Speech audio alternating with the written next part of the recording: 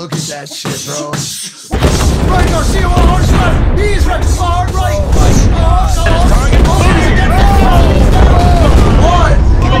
Sa February 2021, sa muling pagbabalik ni Floyd Mayweather, ay makakaharap niya ang Amerikanong YouTube sensation na si Logan Paul.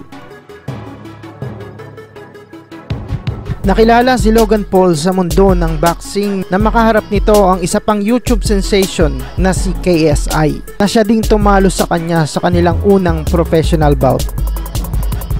Bagamat meron itong height na 6 foot 2 ay malamang na mapaglalaruan lang ito ni Floyd Mayweather.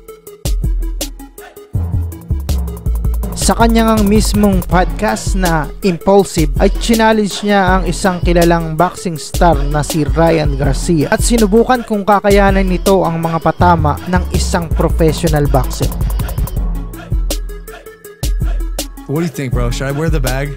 I feel like it's. I, I would wear the bag if I were you. But Maybe let's get a couple his, without. His, his dad's like, "Hey, welcome back." So, uh, Ryan was just warming up on me a little bit, and I now understand why people fly back in the videos. I am I. Body shot challenge: Logan Paul x Ryan Garcia on impulsive. Look at that shit, bro. Right, Garcia on hard left. He's right, hard right. Oh my god. Oh. Logan is against the ropes and he's down.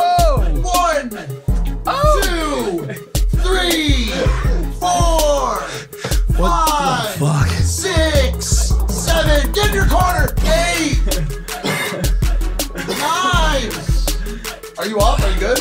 Can you fight? Wow. He's still in it, coach. Holy shit! Wow, my insides hurt like a lot. No, I'm fine. No, I'm fine. You handled it well. Maybe freeze. maybe one without the uh, padding. We doing it? Oh, did that come out? Yeah, I think. I think. Holy shit. I think we gotta do one without the. Oh, You want to show the world those abs first? Without. See what's, see what's ready to take. no! That was just a. Oh Yo, put him through that wall, bro, and I'll give you 10k, dude. I'm not a boxer anymore. Like I gotta train for that shit. Like, 10 10,000 if you break the wall. that wasn't it. here it goes. Oh. Oh. Si Ryan Garcia ay may height na 5 foot 10 ngunit lumalaban sa super featherweight at lightweight division.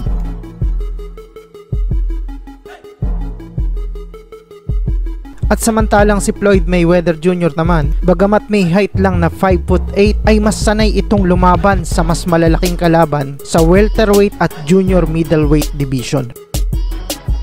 At ang huli nga nitong tinalong junior middleweight champion ay walang iba kung hindi si Canelo Alvarez.